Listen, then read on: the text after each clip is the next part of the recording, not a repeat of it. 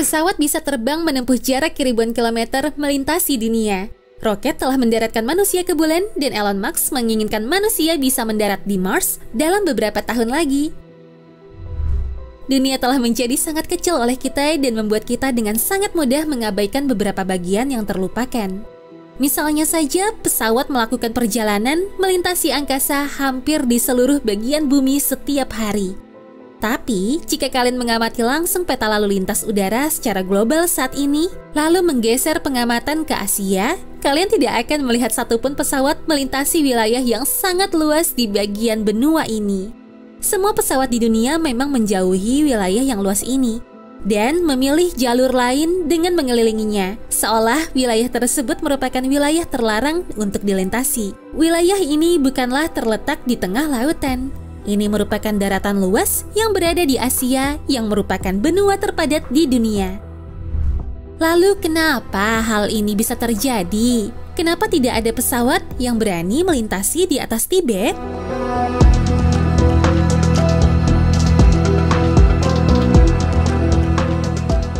Banyak sekali alasannya kenapa tidak ada pesawat yang berani melintasi di atas wilayah Tibet. Tapi sebelumnya, kalian harus mengetahui sejarah penerbangan di wilayah itu ya. Zona mati yang kita maksud tadi adalah dataran tinggi Tibet, yang merupakan salah satu wilayah kosong terbesar di dunia. Setelah Antartika dan bagian utara Greenland, dataran tinggi Tibet adalah tempat yang tidak ramah bagi manusia untuk ditinggali di dunia dan wilayah ini hanya dihuni oleh sedikit sekali penduduk. Wilayah ini memiliki luas 1.228.400 km persegi, tapi hanya memiliki populasi sekitar 3,5 juta penduduk. Sedikitnya jumlah penduduk di sini dikarenakan rata-rata tinggi datarannya lebih dari 4.000 sampai 5.000 meter di atas permukaan laut membuat dataran tinggi Tibet menjadi wilayah geografis tertinggi di dunia dan mendapat julukan sebagai atap dunia. Julukan ini sepertinya tepat karena atap dunia ini menjadi salah satu rintangan terbesar di dunia bagi penerbangan selama beberapa dekade Percobaan skala besar melintasi wilayah ini pertama kali terjadi pada Perang Dunia Kedua ketika sekutu yang kemudian dikenal sebagai India Britania berusaha mengangkut perbekalan menuju Cina untuk membantu mereka melawan Jepang. Rutenya sebenarnya tidak terlalu jauh, hanya terbang dari bagian timur India menuju Kunming di Cina dengan jarak sekitar 840 km. Tapi karena mereka terbang melintasi pegunungan terpencil dan dataran tinggi Tibet, sang pilot mengalami turbulensi yang sangat keras. Kecepatan angin lebih dari 200 mil per jam, sementara temperaturnya cukup dingin untuk bisa membekukan bahan bakar pesawat. Menghadapi cuaca yang tidak bisa ditebak dan hampir nggak ada bandara darurat, kemudian mengubah penerbangan ini menjadi sebuah kecelakaan. Belum lagi mereka juga harus menghadapi serangan tiba-tiba dari Jepang. Semua bahaya itu membuat jalur ini dikenal sebagai jalur maut. Dalam kurun waktu 42 bulan, ada sekitar 594 pesawat jatuh dan kurang lebih dari 1.659 orang hilang di pegunungan dan mereka tidak pernah bisa ditemukan lagi. Sebagian besar kehilangan ini disebabkan oleh bahaya yang dihadapi pilot dan bukan disebabkan oleh aksi dari musuh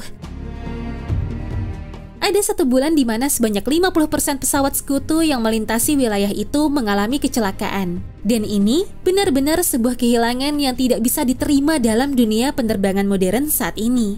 Untungnya dalam penerbangan modern, dataran tinggi Tibet telah dibuka secara bertahap dalam beberapa dekade setelah Perang Dunia Kedua.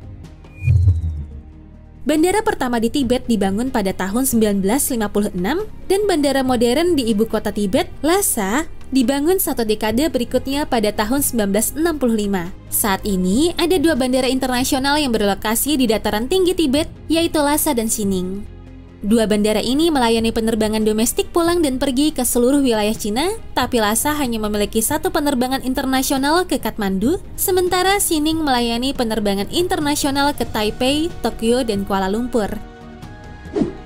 Jadi memang benar jika terkadang ada pesawat yang melintasi dataran tinggi Tibet dalam penerbangan modern, tapi hampir semua penerbangan internasional antara Asia Timur dan wilayah Barat tetap akan menjauhi wilayah ini.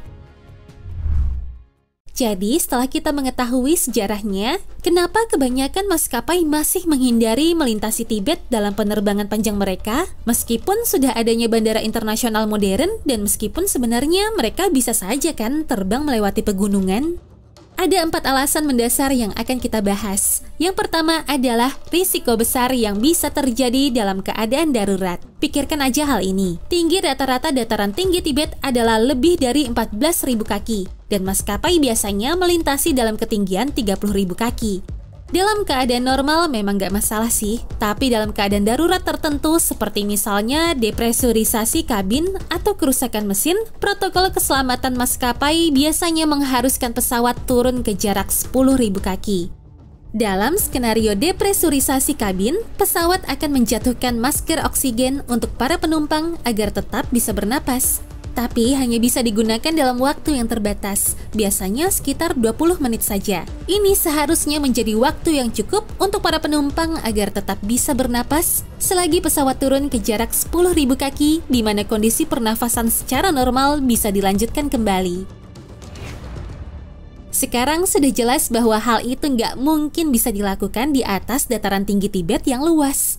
Dengan rata-rata ketinggiannya adalah 14.000 kaki, Artinya jika pesawat turun ke jarak 10.000 kaki sesuai dengan protokol, maka pesawat akan menabrak gunung dan semua orang di dalamnya akan mati.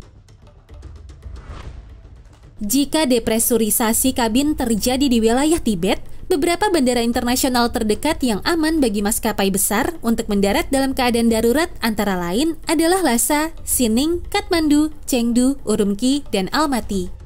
Semua bandara ini berjarak ratusan bahkan ribuan kilometer satu sama lain dan biasanya bandara ini bisa mendapatkan informasi dari dataran tinggi tidak berpenghuni itu.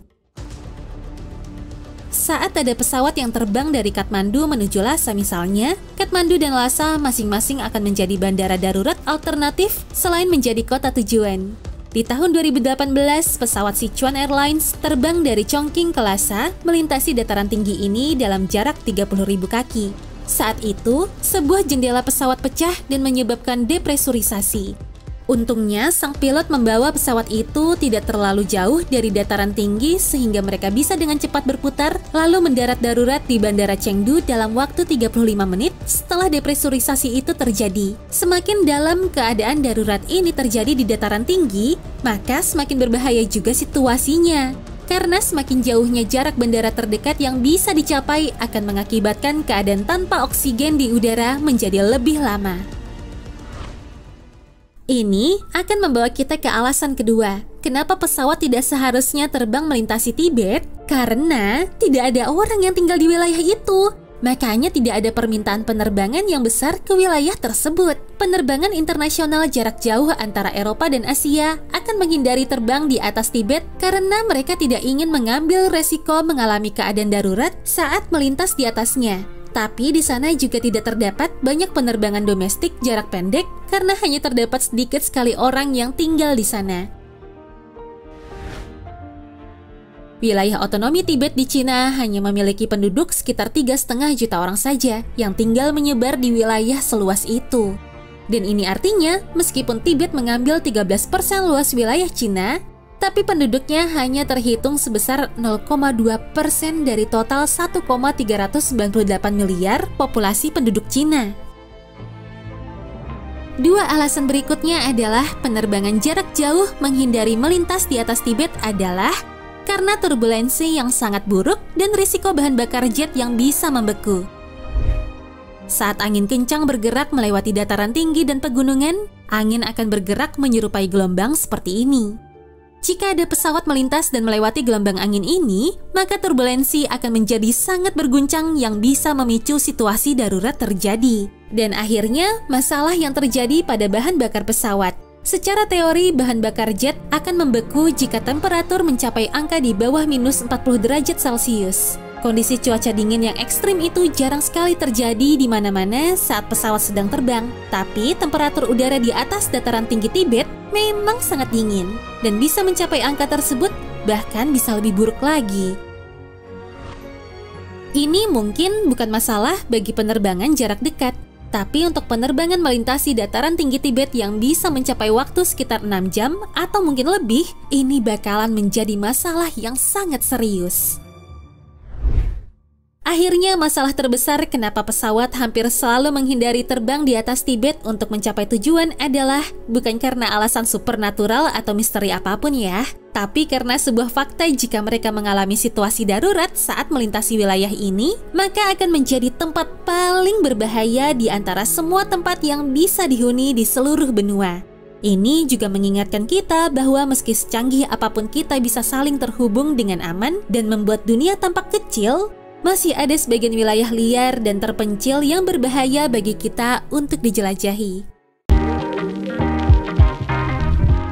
Kamu tahu, logika membawamu dari A hingga Z, sedangkan imajinasi dapat membawamu ke semua tempat. Dan dari sini kamu bisa menemukan apa pun di dalam planet ini. Seperti biasa, jika kamu mau aku membahasnya, silakan tulis di kolom komentar ya. Sampai jumpa lagi di video selanjutnya. Oke, terima kasih. Bye-bye. Change who you are. The things you